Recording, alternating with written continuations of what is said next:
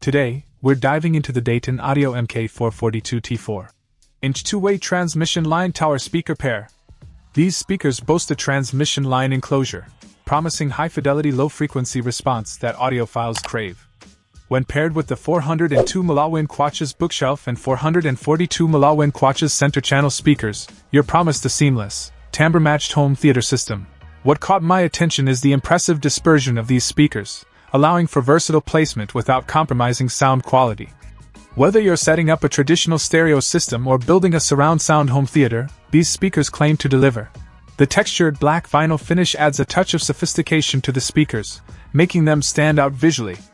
Aesthetics aside, the 4 ohm impedance ensures compatibility with a wide range of receivers and amplifiers, making them a practical choice for most setups. I in this review, we'll explore the build quality, sound performance, and overall value for your money with the Dayton Audio MK442T.